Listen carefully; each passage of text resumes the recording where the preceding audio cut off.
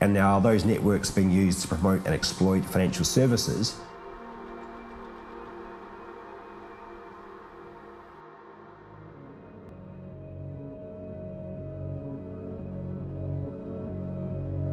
The City of London was the beating financial heart of the British Empire. As Britain's empire declined, the city transformed itself from a hub operating the financial machinery of empire into a global financial center. Former insignificant outposts of empire became the basis for a spider's web of offshore secrecy jurisdictions that captured wealth from across the globe and funneled it to the City of London.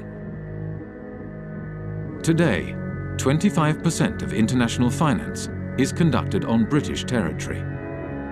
Almost half of the world's secrecy jurisdictions are under British protection. Up to half of all offshore wealth may be hidden in Britain's offshore havens.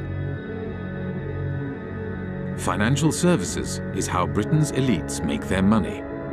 And it is also where former government ministers, senior civil servants and retired spooks from MI5 and MI6 receive lucrative consulting positions after their time in public service. Together, they have transformed Britain and its dependencies into the world's largest tax haven, harming development throughout the world and turning Britain itself into a country that serves, above all, the interests of its elites.